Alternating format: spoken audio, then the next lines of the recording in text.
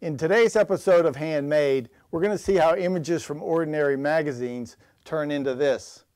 It's collage on steroids.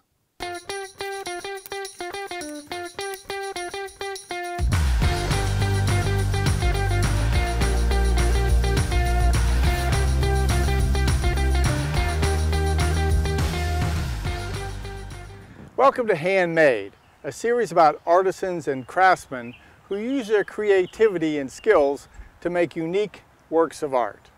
In our modern world, it seems like everything is mass-produced, prepackaged, and available on Amazon. So it's easy to forget that some things are still made by hand. So come on, let's go visit the studio of today's featured artisan. You know, I really love to create with paper. It can be cut, torn, sliced, ripped, painted. I don't really care, I like them all. I just like to reassemble them and make something different. I'm particularly drawn to the look, the color, and texture of torn magazines and the fact that they're so malleable by nature. When we were talking before the show, you mentioned that your first degree was in chemistry and then a second degree as an MBA and you worked as a global management consultant. That's a very impressive resume. How'd you get interested in art and specifically collage? Well, I began actually after my first husband passed away. He, uh, he passed away 12 years ago, and I was, I went back to work right away and didn't take any time to grieve, and finally realized I just need to take some time off. And if I'm going to cry for a month, I'm going to cry for a month. And the funny thing is, we had just moved into a new house two weeks earlier uh, from when he passed away. So I still had boxes. I started to unpack the boxes and I found a box of his old art when he went to art school. They were practice drawings, so they weren't the kind that you would frame and hang on the wall, but I couldn't make myself throw them away. I didn't want to just stuff them under the bed.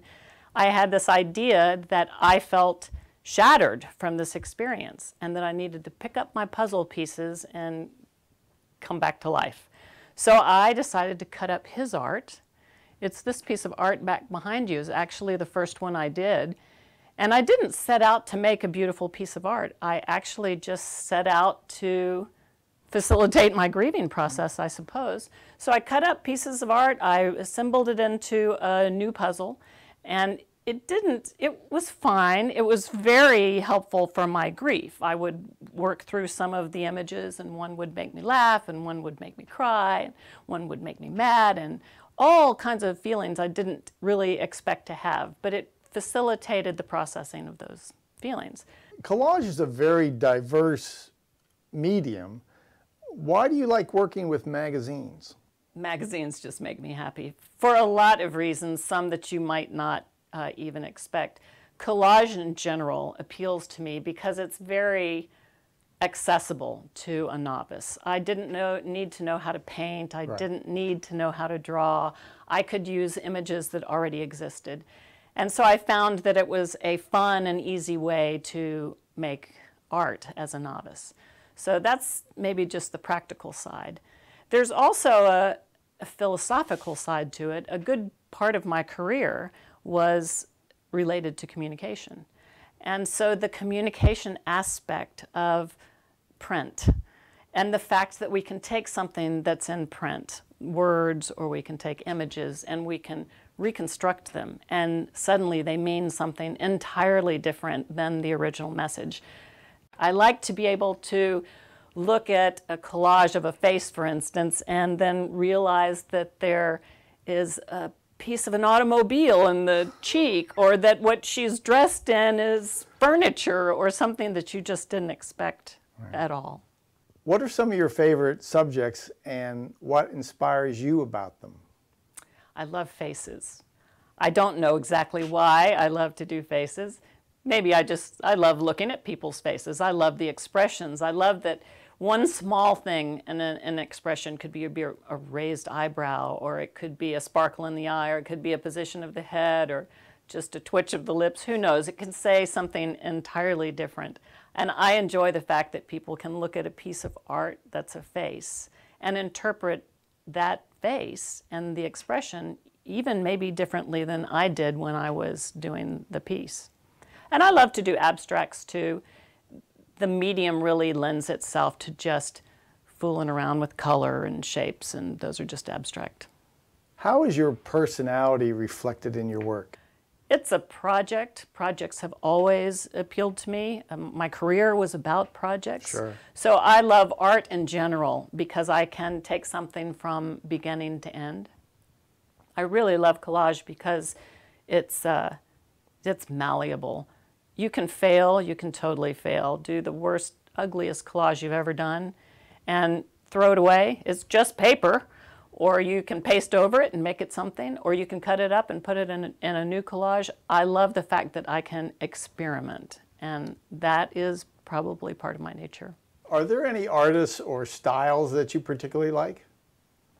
Oh, well, I like Rex Ray. You'll see a few of my collages are uh, motivated by Rex. They're simple to do because they're shapes and they're pictures. Um, I like uh, well, if we go way back, I like Picasso. The first, first collages ever came from Picasso. I'm motivated by how he took images, again, that didn't belong. He took words, he took things out of uh, um, newspapers and put them with pieces of wallpaper, and somehow you have a Picasso. I love, in general, just I spend more time than I'd like to admit going through the internet looking for artists that I find interesting. And in fact, more often than not, I find somebody who paints something beautiful. And I ask myself, could I mimic that effect just with ripped up papers? Could I take a, a vase that they have made look transparent with paint, and could I possibly do that with a collage, just ripped up paper. Right. What words of wisdom would you have to somebody who was just like to try their hand at, at collage? Oh, well, go get a magazine and start to rip it up and just place it down. We'll, I'll show you a little while later how easy it is to take images and colors and just place them into various spaces. And when you see something you like, one thing that I do is take a photo of it. And that gives you an idea of what it would look like if you framed it that way, if you trimmed it that way. I didn't do anything up to that point other than put a massive paper on the table and take a photo. If I like it, I paste it down. Let's head into your studio and you can show us some of your works. Let's do it. All right. So this is where the magic happens. This is it. This is where I do it. All right, let's see some of your works. Yeah, I can't wait to show you. So I picked out a few things. I, I, brought this one because this is one of the first ones I did. This is uh, actually modeled after Rex Ray, who does very simple but elegant collages of simple shapes and colors. Often they're just like this, two different colors. He doesn't use magazine, of course. Uh, he uses painted papers, uh, which I also occasionally use, but my question to myself at this point was, well, how could I mimic his style and make that work? So this contains magazines. All of this is made out of magazines. What I learned pretty early, though, is that it takes a little while to gather a palette. So if you want just blue and yellow, you go through magazine after magazine after magazine and collect those colors. So I end up doing something like what you see here. I make a little pile of blues. These are just collections of different blues out of magazines. Some of them I paint. And then I build something that I call a skin. This is literally just magazine. Wow. Just a bunch of different magazines, all happen to be blue. I wanted blue, and if you look closely, you'll see that this is the skin that's behind this particular splash diagram. The yellow is done in a similar way. I made a skin, and in this case, I painted over it because I didn't really want you to see that much of the detail of a magazine. So you don't care about what images are actually on the skin, right? You just want more of a color palette. That's right. Okay. Sometimes I do care about which image I'm putting in there, but when I'm doing an abstract like this, generally I just want color. I'm right. just looking for color. And I like the fact that if you look closely at any given piece of uh, skin, you might find an image of a woman swimming around underneath the water. and I like the fact that that woman might end up in one of my collages, and when you're staring at it, you'll find her. Yes, I know. A lot of your pieces do have these hidden images inside. Yes, it just makes me happy. Here's another piece, actually, where I've done the same thing. This, this was made out of a math book. Now, who has good memories of their math classes? No one's. Gave me great joy to take a math book and rip it up, paint it. So if you look down in this imagery here, you'll see all kinds of angles and bits and pieces out of a math book, which I then just ripped up and made into a landscape like you see here. And then these circles, these circles here, are just cut out of, again, it's a magazine page. I painted a piece of tissue paper and glued it to the surface so you could just peek through and see some of the wording on there. And so it makes a circle more interesting than if I had just painted a aqua circle. Yeah, plain blue circle, right. Yeah. Same thing is done actually up here in the sky, if you would call that a sky in this abstract piece. I took a piece of tissue paper, which is very transparent. You can paint on it, but when you actually glue it down, this white bit that you recognize as tissue paper just disappears. It becomes transparent. So really all you see, you can see through, as you can see on this one. You can see through to what was behind it, which was a black page with some kind of writing on it. And also the tissue paper adds a little bit of texture it does. to it, so it's just not a flat background. It does. This is just the same thing I'll show you quickly. Same exact uh, process. This is an abstract, so you can show it any way you want to. In this case, what I was doing, uh, the, the two main colors here, the black bit and the red bit, are exactly skins, just like this. Right. They have a little bit more paint on the top of it because, once again, I didn't really want you to see through to too much of what was happening with the magazine. But all of this black and white here was a fun process. That's just black and white lettering taken out of a, any old magazine and cut up. I made a skin out of it. Right. And then I cut it into pieces and you know, depending on how you look at it, I, I, I, call this art bots because to me it looks like a, I don't know, some kind of art robot yeah, right. riding through space. And then this is one other thing you can do with the skin. So the ones I just showed you are non-representational. Yes. They're just shapes and colors right. and they're just abstract for fun. But sometimes you want something in the painting that you recognize, a bird or a fish or a, a face we'll get to a little later. I do this exactly the same way. This background here, it's all, everything on here is out of magazine. The background comes from magazine, which I painted on or I might have sanded. I modified the page somehow so you don't exactly recognize that it was straight out of magazine. Sure. And then the fish is done a similar way. I literally make a skin. Here's the first one that I did. I didn't like it, so it didn't get used. But uh, this was just a skin of a fish, and, or a orange skin, basically. Yes. I trace the fish onto the skin and then I cut it out. And then you end up with this lovely texture from the skin. So right. it really feels three-dimensional. I do, I've done several with birds and fish, and I think that's fun. So shall I show you how to make one? Sure, absolutely. okay, so let's say I want to make a, an abstract. So I, I literally go collect a couple of pieces of paper. And usually I look for something that is small and tight and something that's big and bold and I look for a color and I look for a neutral. The right. neutral could be black or you know beige or something. And then I look for something that's going to add pattern. This is just some random thing that was in the middle of my palette tray. So let's just say I just literally do what I'm doing here. I just place the pieces together. I kind of play around. Maybe I want this little red pattern in there or maybe I'm going to get a third neutrally thing and put it, just sort of experiment around like that. And I need a jewel in there, so I'll just go pick some random jewels and maybe place the jewel. And then I get to some point where I have an assemblage like right. this. And I go get just a frame because I want to see, well, what would it look like if I were to frame that? Would, would I like it?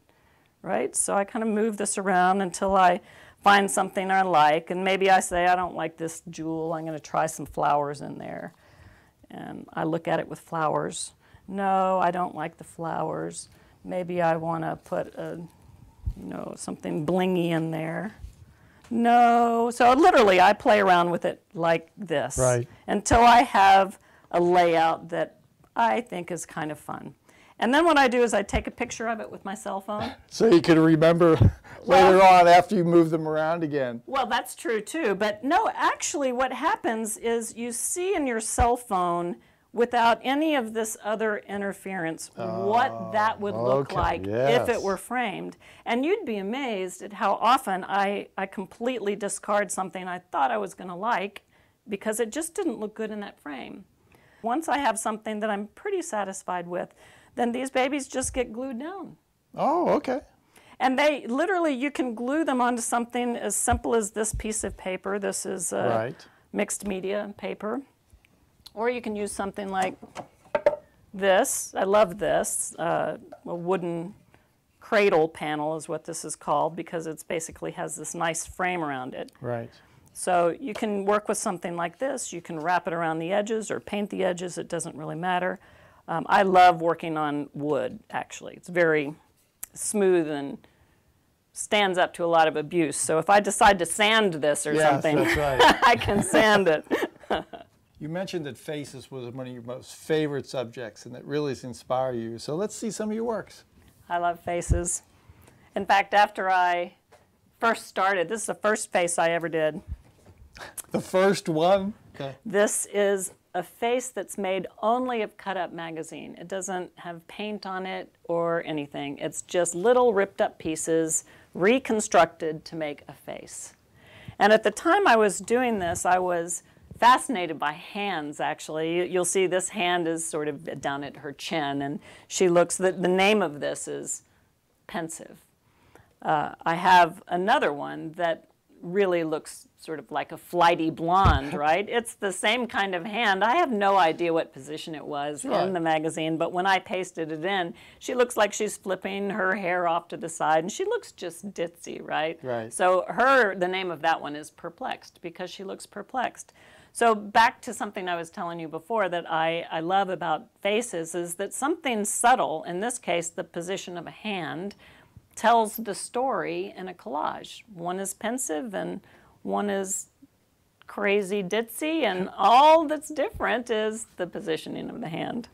This one also, just to make the point, it's a collage. You can put anything you want to in there. So I had some broken earring, and this Yeah. one has a piece of broken jewelry in it. You can play with whatever you want to in a collage. But I love the fact, in, in the case of that one, that you can make a face out of nothing but magazine. You don't need paint. Now, here's another technique. These are two different photo transfers, actually. These are completely different examples of the same kind of process. And my experiment, I usually have an assignment to myself. Every time I do a piece of art, I'm saying to myself, well, what do I want to learn? Or do, what do I want to try and see if it works? So in this case, I was curious if I could get a really beautiful photo transfer. Let me show you the photo. So here's the photo. This is a photo, this is actually a photo I took on my iPhone of a portrait that was done of my mother when she was 18. And so I had those printed. And in one case, in this case, what I wanted to do was try to make it as similar to that, poet, that portrait as I could. I wanted it to look a little, you know, uh, old, because hers is too. It's peeling up a little bit. Um, but I didn't want it to change very much. And my test to myself was could I paint on the canvas first, do a, some collage, paint in the area I knew her face would end up, and have some collage show through, but mostly have it be a photo of my mother. Right. So that's what this one is. This, this other one is the same process, but what I was trying to do in this case is make it transparent. Could I put a photo on top of a collage that has all kinds of crazy things out of a magazine, have it show through the face, but still have you know that it's a face? Right. So I, I I think this experiment worked. It was really super fun. I personally like the one that's more collage-like because, well, I like collages. Sure. yeah, as an artist, you really have to try different things all the time. They don't always work. They don't always work. A lot of them don't, and, and I just don't worry about it. Okay, so this is also a collage. In this case, you'll see I've painted on it quite a bit. Now, I can't paint a face. I can't even draw a face. I, I can't do either one of those things. But I, what I did discover is I can paint on a face. Right. So I can pick faces out of magazines or books that I think are beautiful faces or I like their expression or the position of their head or whatever it might be, and I can paint on them. Right. And the proportion of their eyes and their nose and chin, Right. it's already done. Yes, I don't have to worry about where the eyes go. Yes. Well, my next experiment will be to paint faces and really not worry where the eyes Oh, are, okay. like Picasso, like right? Picasso. Anyway, this one is uh, this is called Timekeeper. wow. It's about you know all the little nits and gnats that we store up in our life, the little memories. Some are useful and some aren't. Right. And they just pop into your mind, sometimes at the most inopportune times, but they're just always there, knit, knit, knit, knit, knit, popping into your head. This is about the passage of time and those nits and gnats. And if you'll notice, she's looking sort of at this thing that looks a little bit like a sundial or a clock or something. And if you peek through there, you know I like to hide things, but You if you sure peek do. through there, there's a face, sort of like a person hidden by time. Wow. This one actually, this is sold. Purposely on this one, I sought out to put things together that don't belong together. I was trying to sort of make a statement with the art. And I had an old discarded book that had pictures of uh, churches and stained glass windows in it. And of course, I had my magazines. so I decided I would do this come hither look. This woman is standing in, in this very sort of uh, provocative pose. Right. She's constructed out of, you know, bits and pieces of magazines. So I don't know, they're pieces of somebody's arm and Yeah, ear. and there's yeah, little there's there's little some religious nets. pieces and all just all kinds of various colors. Very right. very collage looking. Yes, exactly. So she's dressed in religion. Yes. With this come hither pose. She's got a mask on because I wanted her to be a poser. I wanted I wanted the viewer to think about what it means. But it's also about a person who dresses up in something they aren't, somebody who presents themselves as Right. something they aren't, hence the, the name poser. Right. And then the one, uh, another experiment I did on this one is to paint out the collage that was in the edges. Okay. So if you really want to bring the eye into the central feature and you don't want to be distracted by all what, what's happening in the edges, um, you paint it out. Especially since her dress is so busy. And I really like this hair, this detail up here in the hair with all the, the various oranges. All pieces of magazine. Yeah, that's a collage on steroids. That's a collage on steroids. So would you like to see how you make one? Absolutely.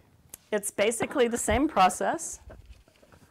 So in this case, I have a, a face I've painted, which just came out of a magazine. Okay. So, you know, I don't actually care for this yet because she looks expressionless and that's not what I would want, but just you'll, you'll get the, the feel. So the first thing I do is just, uh, in this case I painted her, and she implies some kind of palette, right? So I'm going to look at her for cues of palette, and I'm going to experiment with what that might look like. So I do the same thing. I go to my trays filled with color, and I pick some neutrals. I don't care if it has bits that were cut out because sometimes those bits make Right. some interesting Something shape, from right? the background comes through. Yep, so I, I don't worry about it at all. So I'm just going to pretend that I'm going to make a background here of, not, it's not really anything. It's not all that important at this stage. Let's just say that's going to be my background because it takes cues from the pinks that are in her. So I kind of lay her out there. And then she needs something, she needs hair. I really love to play with hair, as you can see, and what goes in a, a person's head. Maybe it's time, or maybe it's orange hair, or Right. who knows? Maybe it's flowers, like you've seen another one. So I just uh, start to play around with what it might look like. And I literally just start to do this. Well, I think she needs some red in there. And I just take bits and pieces of red. And I kind of throw it out there and see, well, what would she look like with red stuff in her hair? And I might take a picture at this point Sure. and see whether or not I think she needs to have red stuff in her hair. Or I might say, nah, it's not quite it. And I might find uh, skin. Let's put something weird in her hair. Maybe she needs a funny hat. Nah. Then I might pull a skin and put a That's, skin. that's interesting. Right? Yeah. So, and I probably would land with something like that. I would just say, okay, you know what? She needs, going to widen her canvas here, and that's kind of fun. So there's something about that shape and these colors that I think is kind of fun. So I might decide to paste that down. Or I really might just say, "Mm, I don't know about the this color scheme because she also has aqua in her. So this was my red palette. Well, let's try the blue palette. I will do exactly the same thing. I'll just say, let's pretend I put her down on a blue palette.